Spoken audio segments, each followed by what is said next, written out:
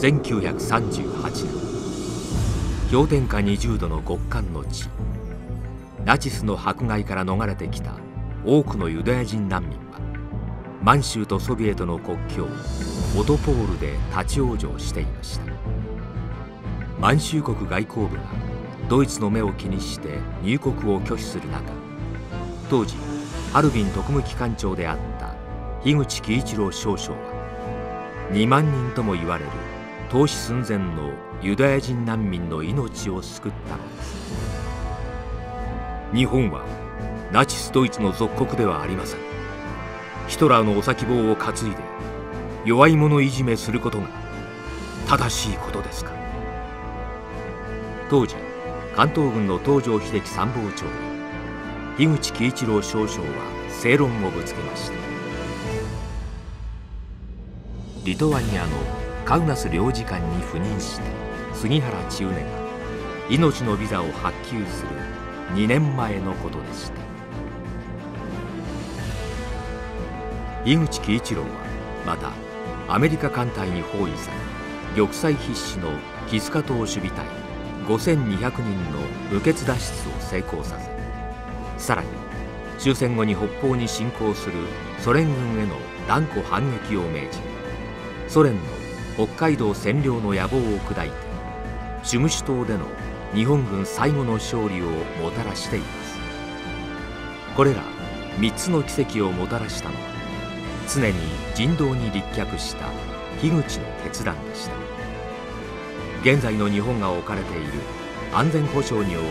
危機的状況を打開するために人として正しい道を貫いた樋口喜一郎の志を学ぶことはとても大切なことだと思います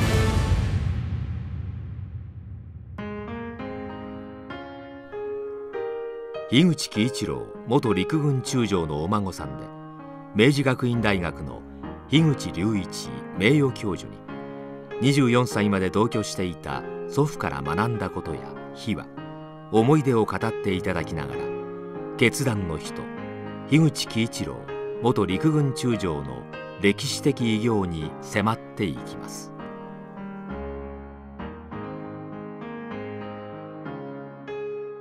まあ、あの彼がそもそも軍人になろうと思った喜一郎少年が軍人になろうと思ったのは日清戦争の後のそのいわゆる三国干渉で、えーまあ、日本がせっかく勝ったにもかかわらずねあの列強からあのいろいろ圧力を受けてまさに餓死昇胆ですか？その時の少年たちで。これでもう一体これからどうなるか分かんないから日本を守んなきゃいけないっていうそういう気持ちでね、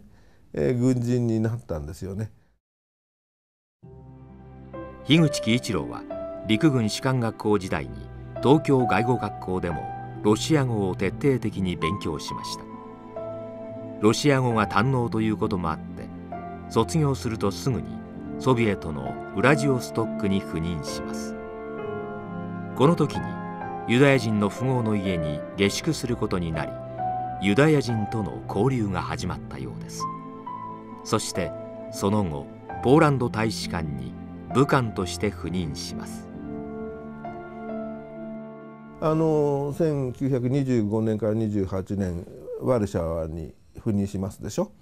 でこれはねワルシャワっていうのはまさにポーランドは当時3分の1がユダヤ人なんですよ。もうユダヤ人問題のもうそのとにかく一番大変なところなんですね。でそこにいるわけだからとにかくありとあらゆることを知るわけですね。それからそのまあポーランド時代に今度はあのロシア人と仲良くやったもんだからロシア人があ何でも君の願いを叶えてって言ったらじゃあ、あのロシアのねいろいろな重要なところをねあの視察させてほしいですね。これもその今最近問題になってるクリミア半島もうあんなところね入れるわけないんですよ。だけどね、えー、スターリンの許可まで出てね入れたんですよ。でそしたらなんかあのあれでしょ？グルジアのあのチーフリスかなんかでこう行ったらあのユダヤ人の老人に捕まっちゃって、えー、まあお茶飲みなさいってでコーヒーごちそうになって。そしたらなんかその日本人は、まあ、ユダヤ人のね救世主だなんてこと言われてえそんなこと思われてるのかなってね。だからまあそういうことが一つじゃないですね。そういうことがずっとあの背後にあって。そしたらまさにその38年ですか。とにかくその逃げてきたって言って。それでカーフマンさんがとにかく何とかしてくださいって言われてその時そのやっぱり自分がやらなきゃもう他にやる人はいないなとあの腹をくくったと思いますね。1937年12月26日。第1回極東ユダヤ人大会がハルビン商工クラブで開催されました。樋口は極東ユダヤ人協会の会長アブラハム・カウフマンに招待されて演説することになりました。ユダヤ人諸君はお気の毒にも世界いずれの場所においても祖国なる土を持たユダヤ人はその科学芸術産業の分野において他のいかなる民族に比べても劣ることなき才能と天分を持っていることは歴史がそれを立証している。20世紀の今日世界のどこかでユダヤ人を追放する様を見ることは人道主義の名においてまた人類の一人として私は心から悲しむものである。ある一国は好ましからざる分子として同行であるべき人々を追放するという。追放せんとするならばその行き先を明示しあらかじめそれを準備すべきである。当然の処置を講ぜずしての追放は刃を加えざる虐殺に等し私は個人として心からかかる行為を憎む。ユダヤ人追放の前に彼らに土地すなわち祖国を与えよう。この演説が終わると樋口は1,000人を超えるユダヤ人から割れんばかりの拍手と歓声を送られたのです。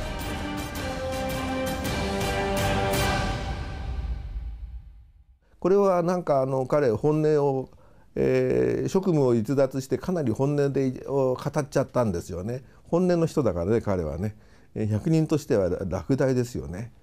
でそれでねもうもちろん外国の各国の特派員がいますからこれはあのそれがもう日本の代表がこんなこと言ったと。つまりユダヤ人に、えー、国を与えようと言っちゃったんでこれはこのニュースは世界中を飛び回りました。これはね外交資料館にたくさん資料が残っております。それはもうドイツはもうそそこでもう起こっちゃったんですね。それでオット、まあ、リッペンドロップ外相から、えー、オット大使にもう、えー、命令が来てですね。それで厳重抗議ですよ。外務省と参謀本部両方厳重抗議して特に参謀本部はもう以後こういうことがないようにあの厳重注意すると。ちゃんと返事してます。これはね大変ですよ。厳重注意。厳重注意受けてる時にねユダヤ人逃げてきたんですよ。これは困るよね。本当ね。でもだから大事なのはあの別に彼ら独断っていうか周りの人たちみんなそこにいる人たちはね若い方たちみんな、えー、助けたいわけですよ。今ほっときゃ死んじゃうんだから助けましょう。なんとか助けられないですかねって言ってる。でも法律の壁があるわけでビザがないのに入れるわけにいかないですよね。それからそういうのをあるいは逆に言うとその彼のブレーンはそんなその閣下そんなことにねなさったらあなたの将来はねあの破滅しますからとにかく、えー、自重してください。という人もいればねうるさいんだ周りがね。だからまあそこでまたあの独断で決めた、うん、それはまあよくわかるね。でこれ独断以外にありませんありえない決定ですよね。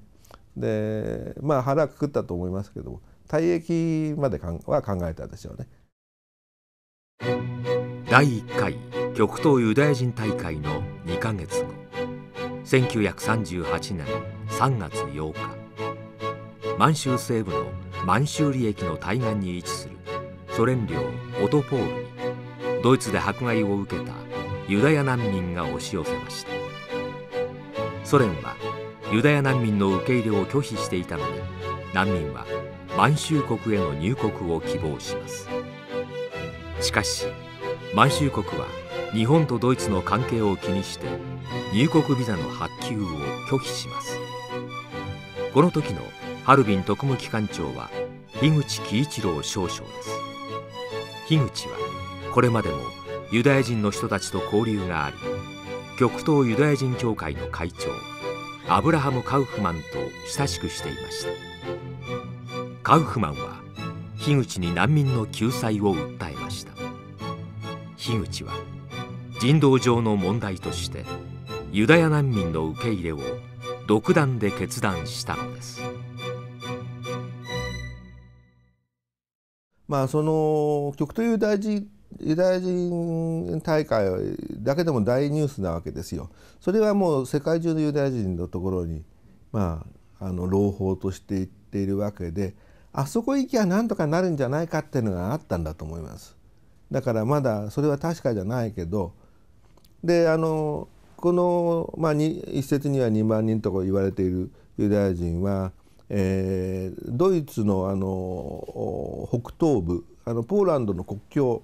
えー、フランクフルト・アンデア・オーデルっていうんですねここは工業都市で、えー、都市生活者ですねこの人たちがあまああのえー、なんとかあの、えー、ポーランドに近いからポーランドに逃げようと思ったわけです。ところがポーランドは3分すでに3分人口の3分の1ユダヤ人だからこれ以上いらないと、えー、とんでもないと。で、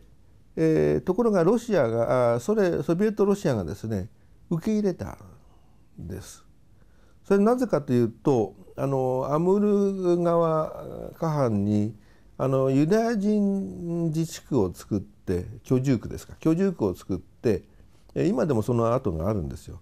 え居住区を作ってそのシベリア開発のあの労働力にとして、えー、にしようというそういうユダヤ人村を作ってたんですね。そこに入れて働かせようと思ったんだけど実はその来てみたら結局その都市生活者でひ弱で、えー、仕事にならないわけです。それで、えー、ロロシアが放り出したわけ。えー、ビザもないままあその満州との国境のオットポールってところに、えー、あとはもう勝手にしてくれと 無責任な話だけどね、えー、行くに行けない帰るに帰れない、えー、そこはマイナスねえー、まあいや30度とかあるいは場合によっては50度とかっていうそういうところですよね。だからほっとくとどんどん死んじゃうわけで寒いところですから、えー、それでそのそういうこうニュースが、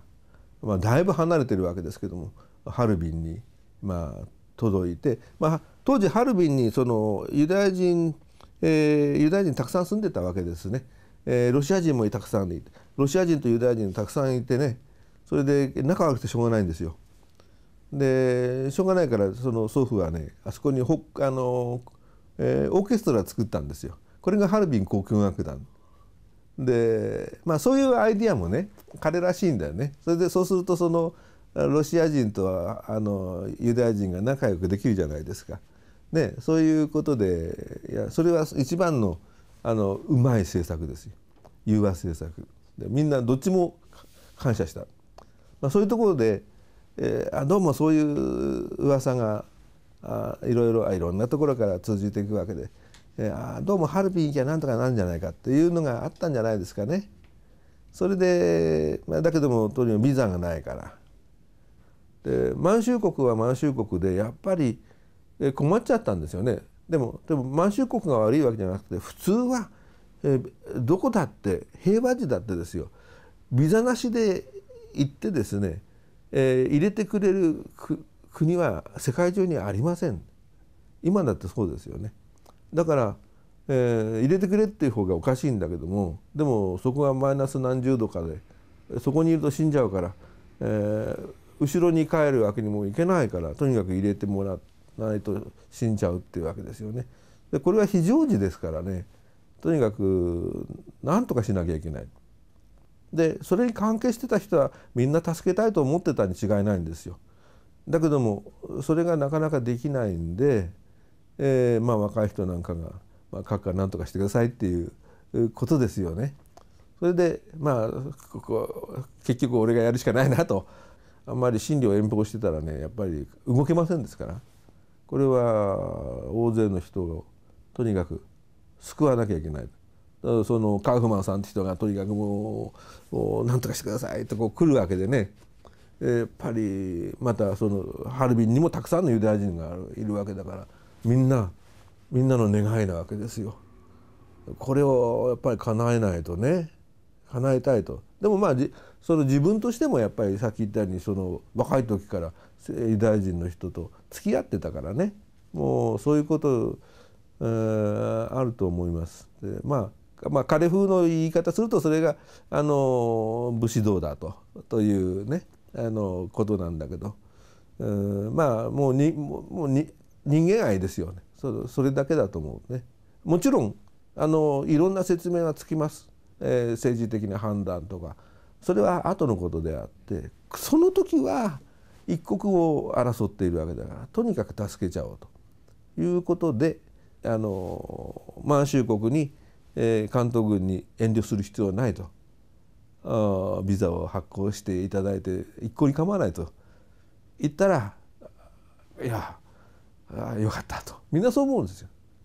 だから別に彼が一人でやったことじゃない。みんながそう思ってたのをだけど一言が必要だった。その一言を彼が言ったということなんですね。それは大事なことだと思います。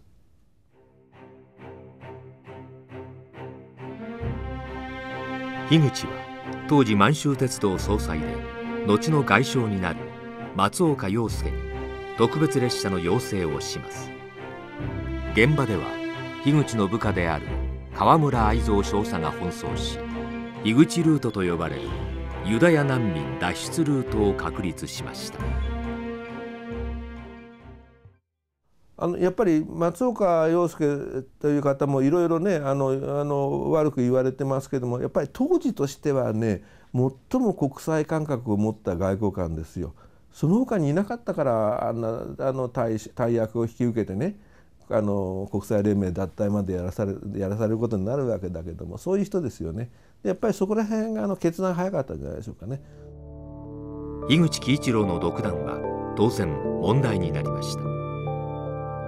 ドイツからはヒトラーの腹心であるリッペントロップドイツ外相からオットー駐日大使を通じて抗議が行われました外務省陸軍省でも口の独断を問題視する声が出てドイツからの抗議書は関東軍司令部へ回されます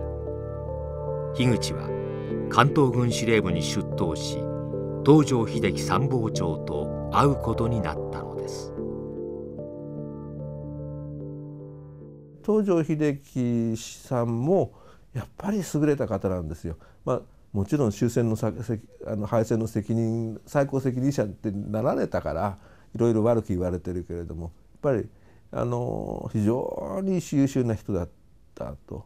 でもちろんそのものすごい抗議が来てるわけだから、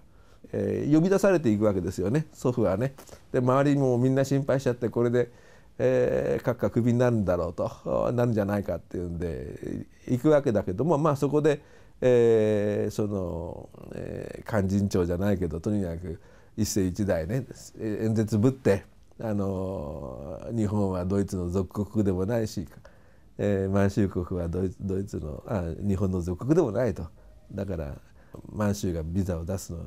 ことにね何の私たちはうことあの反対する理由はないと。じゃないかと言ってね。それはあの東條さんもお分かりになったということで、ね、えー、まああのでもそれを本当に今になって考えてみるとまあ、あのこの決定は、まあ、この後で五省会議と行くわけでやっぱりねあのたとえ同盟関係にあたってあの人種問題だけは、ね、ドイツと一緒にやってはいけなかったですよ。だからやっぱりそこのところのあの判断力っていうのは、えー、樋口にしても東條にしてもねあのしっかり持っていたってことですよね。やっぱりこれはその時のあのそのあの救済救出のことはこれはもうあの一つの事件ですけれども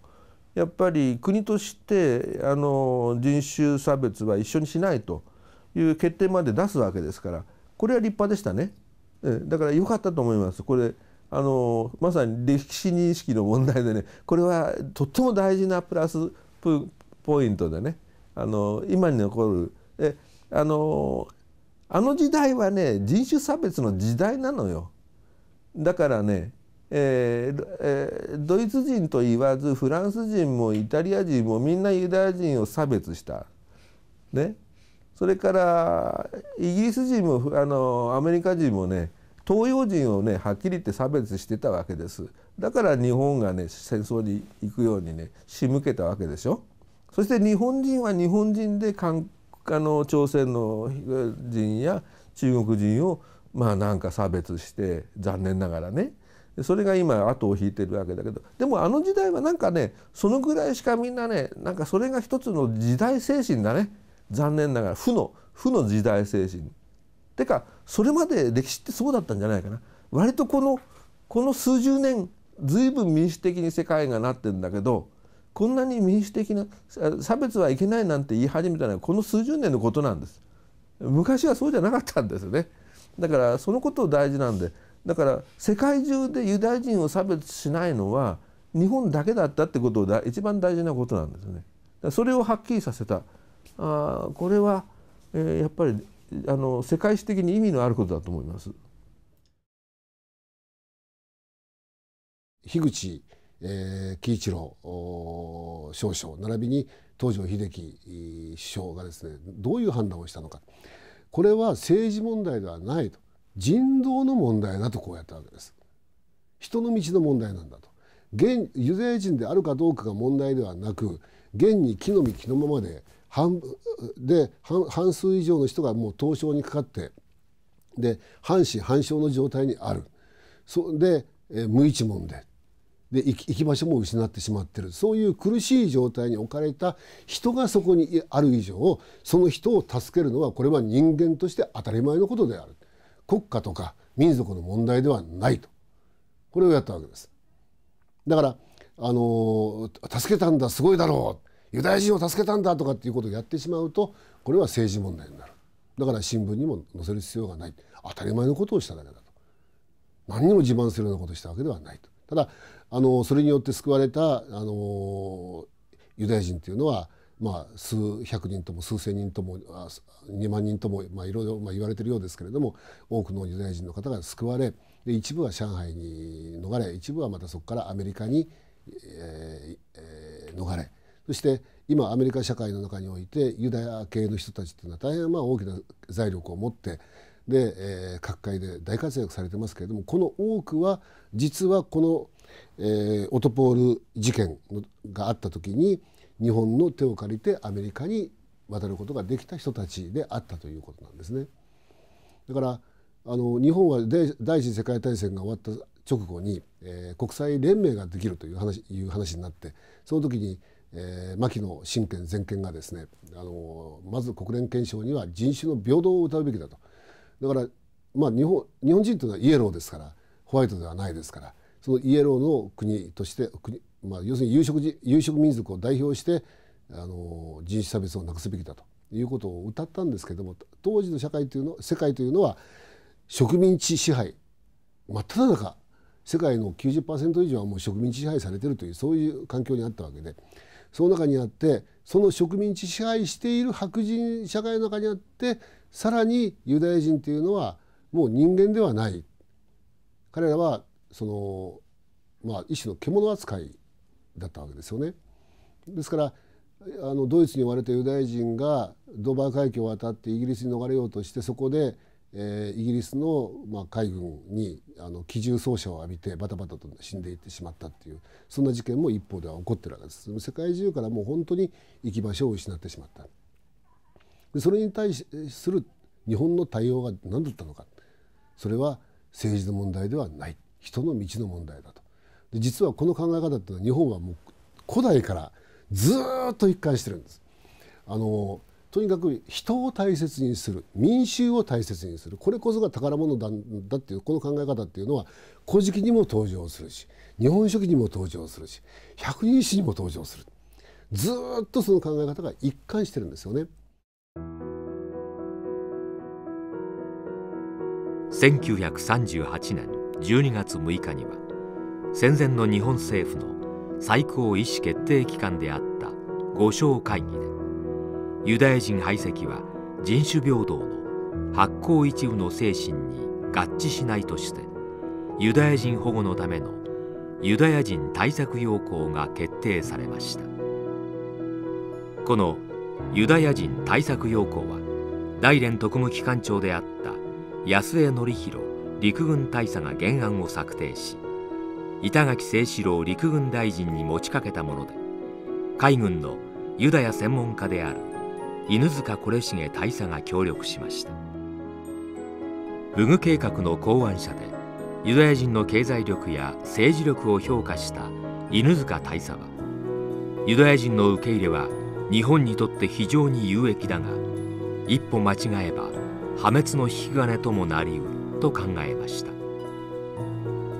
犬塚はこの二面性を美味だが猛毒を持つフグになぞらえてこれはフグを料理するようなものだということからこの名前がついたのです。このフグ計画はもともとヨーロッパでの迫害から逃れたユダヤ人を満州国に招き入れ自治区を建設する計画でしたがその後の日独伊三国軍事同盟の締結により安江大佐は大連特務機関長職を解任されてしまいます。その後日米開戦に伴って頓挫してしまいましたあの結局そのオトポール事件の後でねあの退役覚悟だったみたいだけど兄はからんや別にそのクビにもならずですね それであの参謀本部第二部長部長ってね要職につけられちゃったんですよ。でもその時やった仕事非常に重要でノモンハン事件をねとにかくねあの停戦停戦努力これも必死でいたしましたね。これはねこれノモンハン事件停戦させたためにね、えー、臆病軍人というレッテルを貼られたんですよ。でで彼自身は絶対にロシアとは戦争をしたくない叶うわけがないというのが持論だったそういうこと言っちゃいけないんですよね。だけどもえー、不必要な戦いはしてはいけない。からもう一つはとにかく日中そのあの和平これ一生懸命やってあの王朝名をね重慶からねあのハノイ経由で日本に亡命させたんですよね。これも007みたいだね本当すごいと思うけどそれであの古川庭園のあの古川別邸にかくまってそれで結局あの日中和平工作までやったんだけどもこれはまあ結局うまくいかなかった。そこら辺でもう戦争をやめらればよかったですよね。本当はね。まあでもそうはいかないね。やっぱり。もう全体の流れがそうはもう止まらなくなっちゃってるから。もう今の戦後のいろあちこちでアフガニスタンとかやってるとみんな同じことなのでそういう図式で日中戦争を見ないとあの全然えー、にあのもう日本の本あのマスコミなんかが、まあ、もうハンデを押したようにねあの軍の横暴によってとかなんとかねあの言ってるけどもそんなまあ確かに横暴のところあったと思うけども、えー、そんなもんじゃないです世界史の中であれをあの捉えていかないと、えー、戦争も政治も全部バランス・オブ・パワーの中で動くのは今も昔も全もう同じですからそういうふうに捉えていかなきゃあのわからないですよね。だからだからただ残念ながらそういう感覚を持っている、えー、人が日本には非常に少なかったってことですね。それは時代があのそういう情報というものに、えー、が非常に少なかったし体験も少なかったし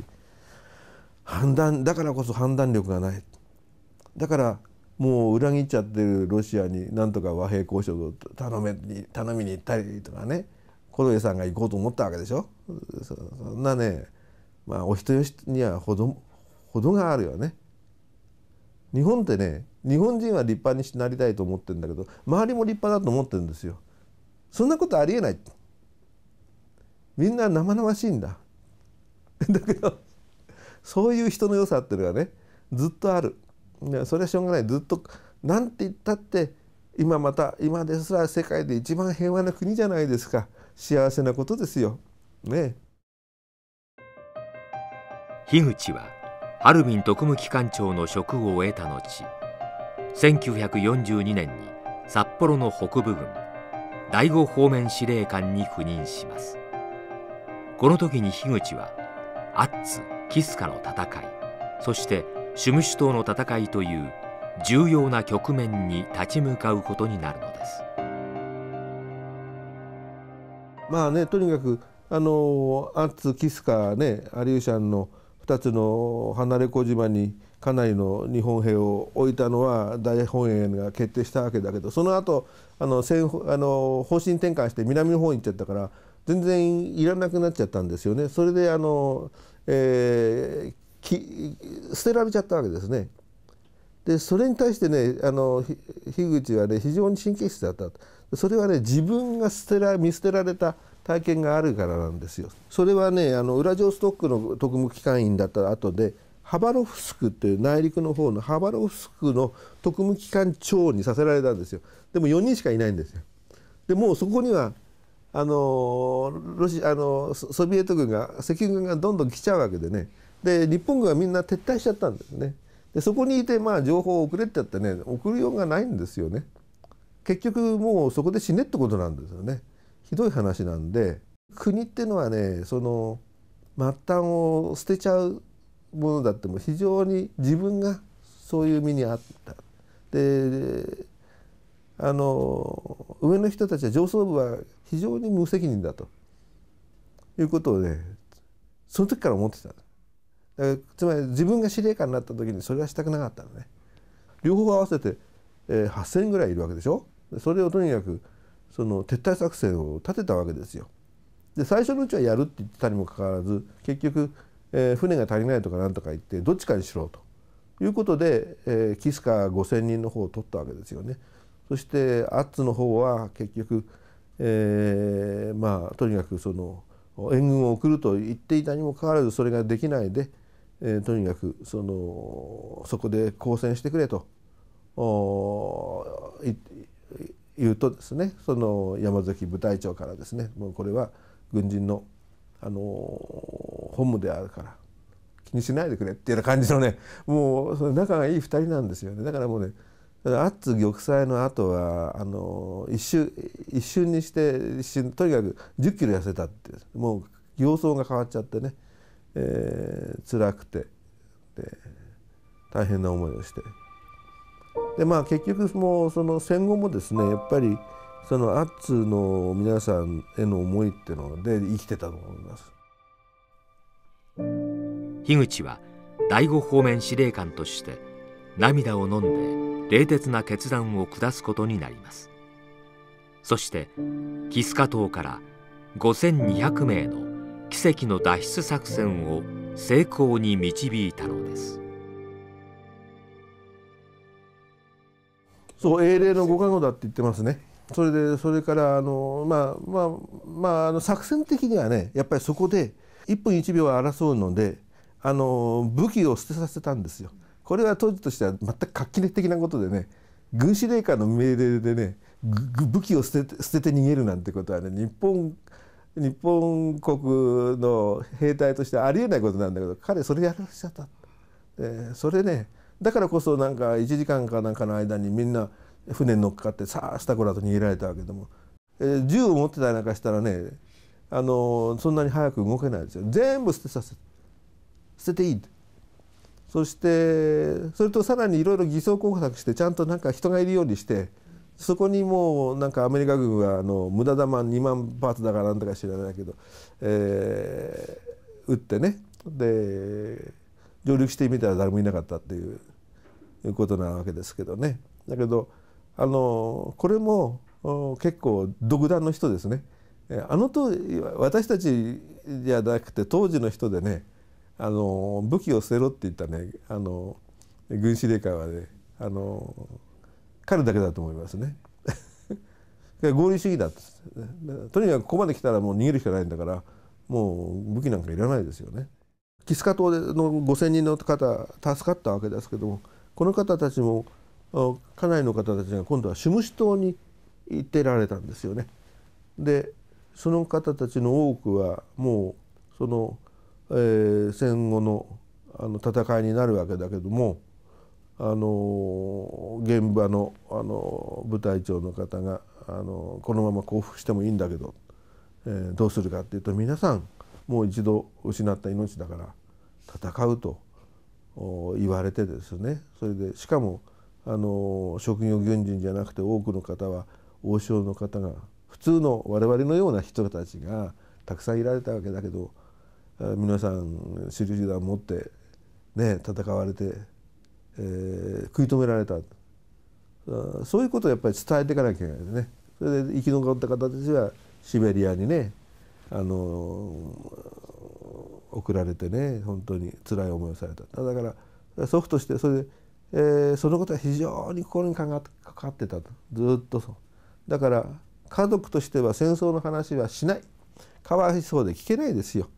でも顔見りゃ分かるもの。とやって毎朝朝起きるとそのあなんか厚党の中こんな誰か書いてあげたそれにこうやっているわけだからあそんな話聞けないですよね。1945年2月アメリカのフランクリン・ルーズベルトイギリスのチャーチルソ連のスターリンがソ連領クリミア半島のヤルタで会談しました。このヤルタ会談でルーズベルトはスターリンにドイツ降伏の3ヶ月後に日ソ中立条約を破棄して対日参戦するよう要請したのです。ルーズベルトはその見返りとして日本の領土である千島列島南樺太そして満州に日本が有する諸々の権益をソ連に与えるという密約を交わしました。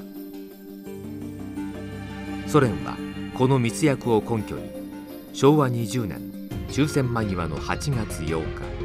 日ソ中立条約を一方的に破棄して満州千島列島樺太に侵攻を開始したのです。2発の原爆が投下され日本がポツダム宣言を受諾すると満州樺太に侵略したソ連軍は猛攻撃を続け各地で殺戮略奪強姦の限りを尽くしました。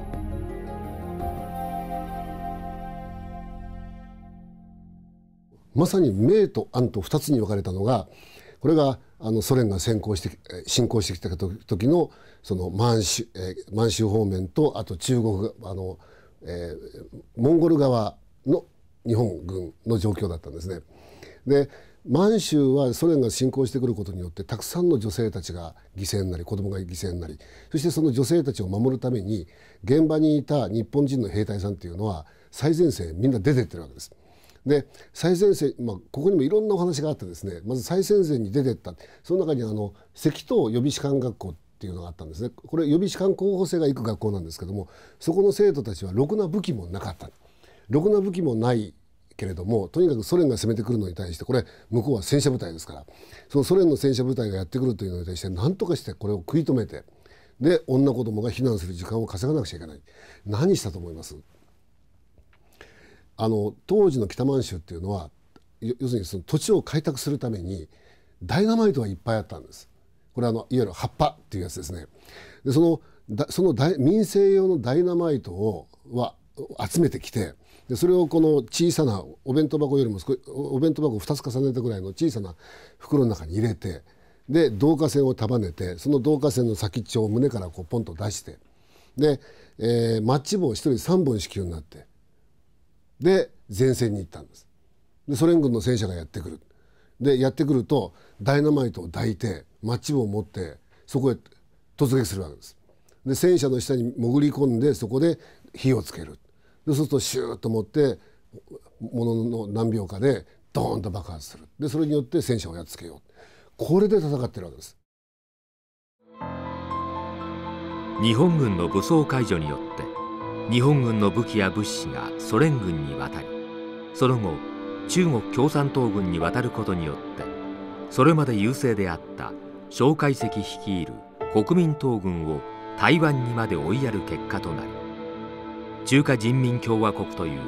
明治維新以来日本がずっと恐れていた大陸の共産化が実現してしまったのです。要するに日本軍がその戦ったけれども力及ばず。またあ一方においては武装をその本部の命令に従って武装を解除することによって結果として女子供がひどい目にあった。というこの案の部分。もう一つあるんです。もう一つはこれは明の部分です。明るい部分。あのむしろ、えーと、満州というよりもモンゴルに近かった方なん方面なんですけどもここには根本陸軍中将っていう方がいてで民間人がいる時に武装解除するわけにはいかんと。で戦争は終わった。で本部の命令でも武装解除しろ、えー、ソ連軍に降伏しろと。いう命令があったんだけれども民間人が残ってる間そういうことにはいかんと。断固戦うっていうこれはだから本部命令無視して戦っちゃったわけですね。で戦うことによってでなんと4万人の日本人の不女子っていうものを見事に逃がしてるんです。全く誰一人途中でひどい目に遭っていない。しかも避難する途中で途中あの列車に乗っけて避難させるんですけれども列車が途中で襲われ、えー、ちゃいけないということで列車はもうゆっくりゆっくりちゃんと周りのあのガードを固めながらゆっくりゆっくり走るわけです。でゆっくりゆっくり走ってるということは目的地まで到着するのに何日もかかるんです。途中でお腹も空きます。で途中で着替えも欲しくなります。そのためにトラックを使ってで前もってその要所要所の駅のところにトラック部隊を差し向けて食料と女性たちが着替えるための着替えまで全部用意しておいてあげたでそうすることによって見事にあの北市方面つまり北京とかあっちの方に日本人が避難するわけです。であのこれはもうだからものの見事に成功してるで途中でソ連軍との小競り合いなんかもあったんですけども全部撃退してるんですよね。そういうだから武装を解除するあるいはあの武器がない戦おうと思うそういう状態に至った時に法律が通用しないような相手にどんなひどい目に遭わされるのか。逆に防衛っていうものをきちんと固めていくことによってどれだけの人が助かるのか。でそういうことをやっぱり私たち日本人はちゃんと学習すべきじゃないかなと思います。一方ソ連軍の侵攻は日本の固有の領土である千島樺太にまで上陸しようとしてきました。昭和20年の8月15日に、えー、終戦のあの玉音放送があってで日本はポスタム宣言を自宅して終戦を迎えたつまり戦争が戦闘行為が終わったわけですね。で終わった3日後昭和20年の8月の18日に実はソ連がえー、日本の領土であったあの千島列島の一番北の端にあるシムシ島に攻め込んできました実はですねこの8月18日つまり終戦から3日目なんですけども3日目にソ連軍が攻め込んできた時っていうのは深夜なんです。で深夜の、まあ、午前様ぐらいの時間帯に突然あのカムチャッカ半島からですねこう大砲でドーンドーンと撃ち込んできてで何が起こったんだろうと思ったらもういきなり上陸部隊がもうバンバンバンバン上陸してくるということが起こったわけです。であの実はその日本側はどうしたかと言いますとこの下地島には守備隊がいたんですね。で守備隊は、まあ、戦争も終わったと。で本部から武器も捨てなさい。全部処分しなさい。という命令ももらっていたんで砲弾も全部あの、えー、こう火薬とですね着火する部分なんかを外してで海にあの半分以上海にもう捨てちゃったそうですね。もう使う必要ないしで、まあ、敵に持っていかれるのも面白くないということで、えー、処分をしていた。でその日の夜ですねあの夕方から、まあ、あの最後の、まあ、お別れパーティーじゃないですけども、あのまあ、若干のお酒を飲んでで本当に貴様たちとは世話になった。ありがとう。本土に帰ってこれからは復興のために働こうじゃないか。ということでお互いにみんなでこう飲んでですね。でやっぱりそういう時の酒っていうのはあのこれはまああの男性の方だったら分かると思いますけど回るの早いんですよねもうみんなベロベロに酔っ払ってですねでも夜の10時ぐらいになっちゃったらもう本当にヘベレケ状態でみんなもうゴーゴーゴーゴー大いびきで寝ちゃったそうですよ。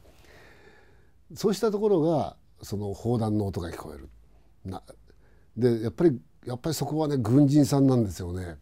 ベロンベロンに酔っ払って10時頃にはもう真っ暗にして電気も消して床についていた大いびきで寝ていた。午前1時頃になって砲弾の音がドーンドーンと聞こえた瞬間にアルコールがスーッと抜けてパッとこう衝撃に変えるわけです。で一体何事が起こったんだと。アメリカが攻めてきたのか。というかどこの国が攻めてきたのかわからない。で、えーまあ、石膏を出してですね、えー、様子を見る。そしたらもう続々と上陸部隊が上がってくる。でなおかつそれがですねどこの国の軍隊かわからない。でその状況下にあってもう間違いなく向こうは敵意を持って上陸してきてると。であのまあ、その報告ををその北海道にあった本部そこにですね実は樋口喜一郎中将がいるんですね。そこにお伺い立てるわけです。どうしましょうか。あのあの戦争が終わったとは言ってもどこの国の人間かわからんようなねそんなものが上陸してきたんだったらば断固撃退すべし。これはね現場にいた軍人さんからしてみるとねもうまさにねもうふわっとこう高揚する出来事だったわけですよね。でもう徹底してじゃあ戦おうっていうことでであの向こうのっていうのは夏も8月っていうのはものすごく深い霧もうちょっと先が見えないぐらい深い霧がかかるんです。でしかも夜なんですね真っ暗で霧がかかっていたら何にも見えないんです何にも見えないんですけれどもところがその上陸地帯地点のすぐ手前のところに丘があるんですけどねそこに砲台あの砲台があるんですよ敵があの、まあ、敵の上陸を防ぐための。ででなけなしの砲弾しかないんです。目くら打ちできないんです。でどうでどうしたかっていうと声のするところ音のする方向これを感覚で測ってでこの位置に敵はいるに違いない。船がいるに違いない。というの判断をしてそこに向けて大砲を撃ち込んだそうですね。100発100中だったそうです。すごいですよね。であのまずそこで上陸部隊の足を止める。でもまあ数がとにかく半端じゃないですからどんどん上陸してくる。でそこで、えー、実はあの四根戦車隊っていう戦車隊があのいたんですね。この戦車隊の隊長さんっていうのが池田さんとおっしゃいまして実はあの司馬太郎の師匠なんですよ。あの司馬太郎は自分はその戦時中戦車部隊にいたんだっていうことをいろんなところで式に書いてるんですけども、えー、その時のその司馬太郎はとにかく戦争を憎みもう戦争も大反対ででもう旧帝国軍あの日本軍なんていうのはもうろくなことしてないみたいなことばかり書いた作家ではあるんですがその上司の池田さんというこの方についてだけはですね本当に心から尊敬した今でも尊敬してるってことをちゃんと書いてるんですそれぐらい素晴らしい人が、まあ、実は戦車学校の校長先生でいてその校長先生が実は終戦当時志虫島にいたわけです。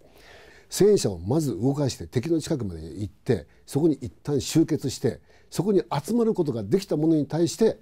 軍事を与えると。来い!っていうことでわーって行くわけです。でやっぱり動く戦車動かない戦車あるわけですよ。まだ整備途中だったりもう整備っていうのも分解途中だったわけですから。でやっとのことであの、まあ、部隊が集結できた時にですねこう言ってるんです「諸子ついに立つ時が来た。諸子はこの危機にあたり決然と立ったあの白虎隊足らんと欲するか。もしくは悪王の老子のごとくこの場は堪忍自重し後日に再起を期すか。白虎隊足らんとする者は手を挙げよ」ってこうやるわけですね。でその時に全員がそのあのもう霧で何も見えなかったんです。何も見え何も見えない状態で池田隊長がその訓示を言った時に本当にあの不思議なことに霧がさーっとこう風で流れてで霧の中に浮かんだのは戦車部隊の部の隊員の全員がまさに一歩前に出てる状態だったそうです。で彼らは勇敢に戦ってその戦いの中で池田隊長も命を落とされるんですね。もうとにかく上半身裸でですね戦車の上に馬乗りになって進めってやってたそうです。で、まあ、銃弾を浴びて隊長もお亡くなりになる。ただそうして勇敢に戦ってくれたことによって日本はシムシ島を守り抜いてでソ連軍を撃退するんですね。で結果としてソ連は1日でシムシ島を落とし千島列島をどんどんどんどんその南下していって北海道まで1週間で占領するという予定でいたんだそうです。ところがその予定が崩れたどころかソ連軍としてはそのソ連軍の当時の戦いにおいて最大の損害を出したあのこれもですねソ連軍があの当初発表していたのは数百人の損害であったと言っておきながら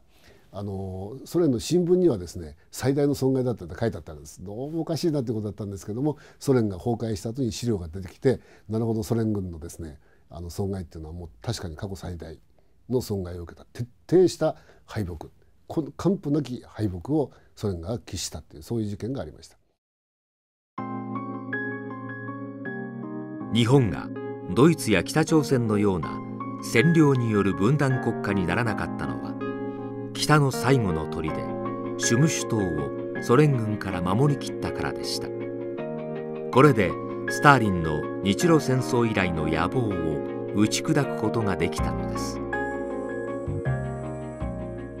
やる気満々です。北海道どこどころか下手すれば東北ぐらいまでもうあの、えー、共産圏になってたかもわかんないですね。そしたら北日本と、えーえー、南日本。北日本人民共和国とですね で、まあ、南日本がにあの日本国とまあ2つにこう完全に国が分かれた可能性もある。で、えー、どっかの国みたいに北と南でですね、えー、ドンパチを始めたりとかっていうことが起こった可能性は否定できないんですよね。だからそれを考えるともうどれだけその国を守るっていうことに命を懸けてくださった方がいてそのおかげで我々がの我々の今の平和があり人生があるのかっていう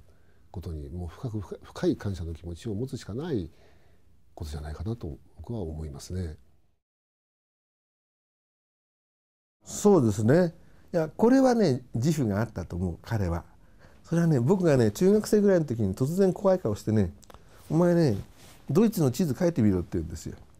それでねベルリンがどこにあるか見かってそんなこと言って分かんないからね、まあ、こうやって丸書いてるこうやって半分にしてここに真ん中にベルリンがある。はっはっはっはそうじゃないんだよ。ベルリンはそうじゃない。こっちにあって、えー、孤立してるところにあるから大変なんだよってね。でそう言ってねと嬉しそうに、ね、説明するの。あのドイツ事情その時分かんなかったんだけど後になって考えてみたらつまり私は日本をこうしなかったと思ってるのよ。だから嬉しくてしょうがない。ねうん。お前はこんなことがわからないかとか言って言うわけですよ。解説してくれるわけ。中学生だからね。分かるわけないんだけどさ。分かんないのを承知でつまり喋りたかったわけ。彼彼が自発的にそういう話をすることは非常に稀であったけどね、えー、だけどもその時はねいや非常にえー、これは、まあ、孫に伝えたいメッセージだったうん。今後になって考えてみるとつまり結局、えー、ヤルタの密約っていうので、まあ、あのルーズベルトがねとにかくスターリンを、まあ、引き入れたいが一心で、えー、もうあのスターリンに北海道の半分取ってもいいよって言っちゃったわけでしょ。ね、で後でまあトールマンがそれそれはまあダメだって言ってくれたからよかったけども。でも取るスターリンとしてはもちろん半分取れたらうまくいったら全部。ね。なおもあの一説によると東北まで福島県ぐらいまで取るつもりだったらしいですね。そうすると日本ちょうど半分だからあの南北朝鮮と同じようなあの、あちらのスターリンの立場から考えるとちょうど合理的な分け方なんですね。だけどもまあそこに至るまでに前にとにかくそれで、えー、結局あの千島の上の方からですねこれはあのベルリンで勝ったすごい人たちをね連れてきたわけですよね。まあ樺太は来るのは分かってたけどもどこから戦車隊が来るか分かんない。えー、参謀の皆さんはその、えー、このいろいろなこうコースを、ね、ここだって言うんだけどもあの祖父がねもうがんとして全部否定してね、えー、ロシアは中央突破に決まってる。これしかありえない。で中央突破一番難しい道なんだけどでもロシアのロシア人の気持ちとしてはこれは中央突破しかない。そしたら本当にその通り来たっていうんですね。だからそういうことだ。それでなんとかあのとにかくこう樺太の戦いも日本勝ってるわけだけどもこのことを戦後の日本の歴史が全部黙殺しましたね。でこれに対して腹立てました。でそれは自分のためじゃなくてそこで死んだ日本の兵隊さんがいるわけだからその人たちのためにね、えー、なんでそう勝った戦があるのをね無視するんだと日本がですよ。あるいは、えー、それからその千島の方はそのとにかくもう上の方から一個ずつ簡単に取れると思ってきたわけですよね。そしたら、えー、まあとにかくそこにあのいらいらおられた、まあ、そこに一番シュムシ島というところに、えー、日本あの陸軍の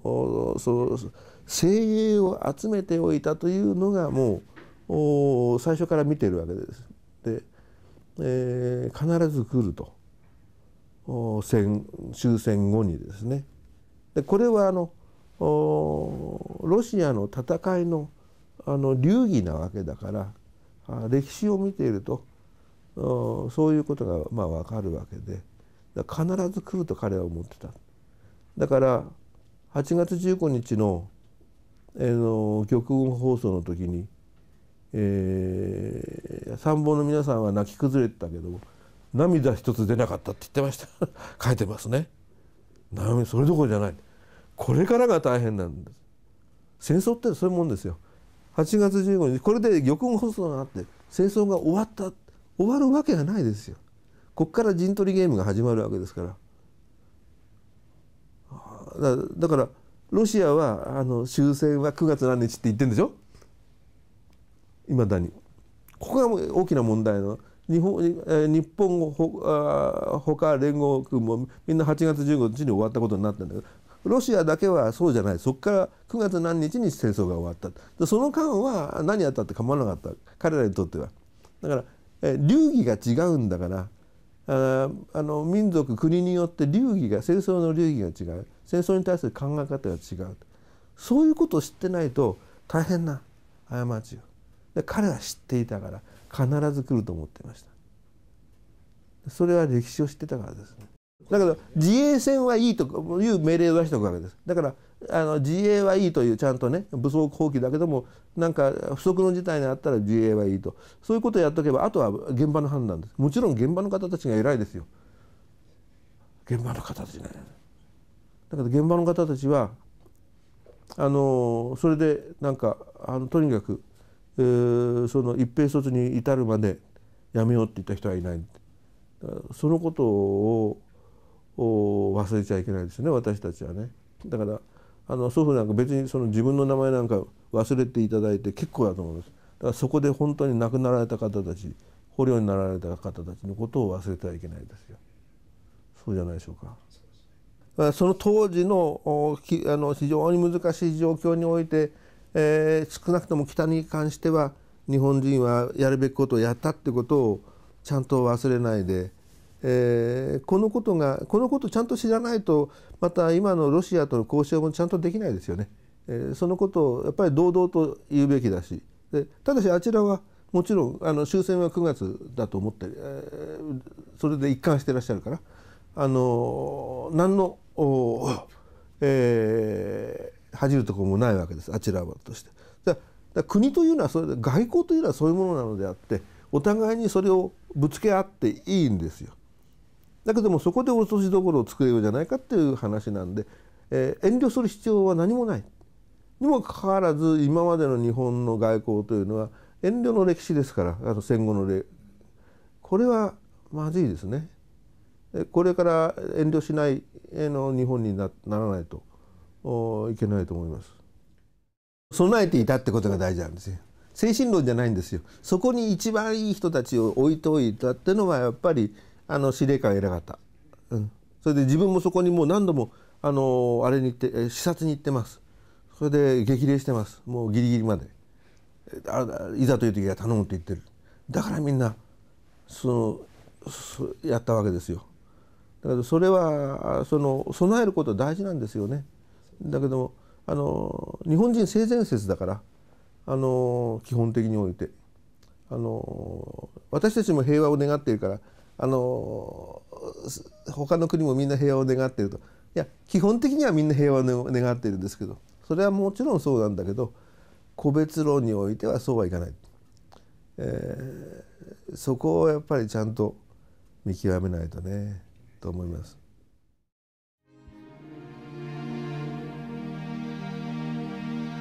大本営はソ連軍の侵攻に伴い1945年8月16日に戦闘行為の即時停止を命令。そして8月18日午後4時以降は自衛目的の戦闘行動も全て停止と命じます。自衛目的の戦闘も停止など本来ありえないことです。自衛権はいついかなる時でも許される人類普遍の自然権だからです。日本はすでにこの時から自虐的な精神が芽生えてしまっていたようです。樋口喜一郎中将は世界的視野と合理的思考によって全軍武装解除という大本営の判断の誤りを排し正面から反撃を加えてソ連軍撃退をやってのけました。ところが千島列島と南樺太では武装解除に応じてしまったためソ連の不法占拠を許すことになりました。がシュムシュ島の戦いで北海道への侵略は押しとどめることができました。こうしてスターリンの野望を打ち砕いた樋口は戦犯として東京裁判で裁かれることも覚悟していました。ところが口を恩人として崇めるユダヤの人々がマッカーサーに働きかけてソ連への身柄引き渡しを阻止したのです。ゴールデンブックにはゼネラル樋口の名前があります。ゴールデンブックとはユダヤ民族に貢献した人ユダヤ人に救いの手を差し伸べた人たちを検証するためにエルサレムに展示されている金色の本で樋口喜一郎中将のほかに安江大佐の名前も刻まれていますまあ私なんかも最近いろそのユダヤ関係の会合にあの、えー、孫っていうことであの呼んでいただいてねあの挨拶させらしてさせていただくことがあるんだけどその時はねいやお礼を言わなければないあの言いたいのは私の方です。おかげさまで皆さんのおかげで私祖父はね東京裁判で死刑にならずに済んでだから私は24歳までね祖父と祖父を知ることができたって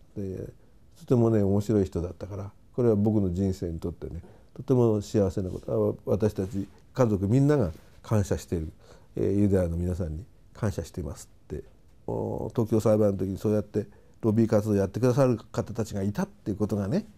知らない人たちですよもちろん直接は。でもそれ尊いことだよね。そういう気持ちが。気持ちが通じてるわけだね。知らない人なのに。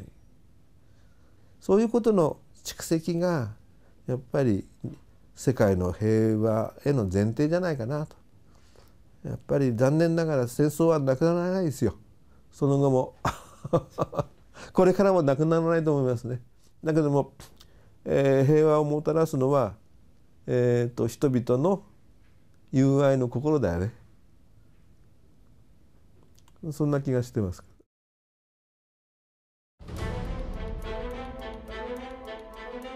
戦後70周年にあたり日本の歴史の真実を見直そうとする動きが今あちこちで現れています。日本の近代史は人種差別と共産主義といった個人の自由を束縛する思想への挑戦の歴史でした。しかしながら日本の誇るべき歴史の真実のほとんどは埋もれてしまっています。満州において武装解除せずソ連軍から日本兵士35万人民間人4万人を救った根本中将のこと。日本を共産主義による分断国家の悲劇から救った樋口喜一郎中将のこともほとんどの日本人は知りません。これらは戦後の教育やマスコミ報道では知らされてこなかったものばかりです。日本は人種平等という価値観を1900年代初頭から世界に向けて提言してきました。1919年のパリ講和会議で日本が提唱した人種差別撤廃提案の価値観。は列強の植民地主義にとって不都合極まりないものでした。人種差別からアジアを解放するための大東亜共栄圏を目指し大東亜戦争を戦い敗れはしました。が植民地を解放し人種差別の時代に終止符を打ったのは日本です。アジア各国でリーダーを育て多くの独立国家を誕生させたのも日本です。発行一部の精神で差別や虐待を受けていたユダヤ人を救ったのも日本です。現在の日本を取り巻く環境に目を移します。軍事拡張に物を言わせて領土拡大を目論む中国。核ミサイルを持つ危険な独裁国家北朝鮮。捏造した歴史で国民を洗脳し日本を貶し反日をやめない韓国。共産主義国家を近くに持つ日本の周辺環境国防上の危険に満ちています。現在の日本が置かれた厳しい世界環境の中外交上国防安全保障上の判断ミスがどれほど危険なものかが浮き彫りになってきます。日本政府は北朝鮮のミサイル攻撃や中国の領海侵犯など危機的状況に対して樋口中将や根本中将のような広い視野に立った的確な国防的決断を下せるでしょうか。残念なことに日本の国内にも自分たちの国は自分たちで守るという世界標準の考え方が通用しない人々であふれています。戦争を望む人などいませんが降りかかった火の粉は払わなければなりません。憲法9条が日本を守ってくれると主張している人もいます。いずれにしても国際的に多様化した危機の時代。今こそ日本人が愛国心に目覚める必要があります。愛国心こそが国防力そのものだからです。そのためにも今一度日本の歴史の真実に多くの日本人が心を傾けてくれることを願っています。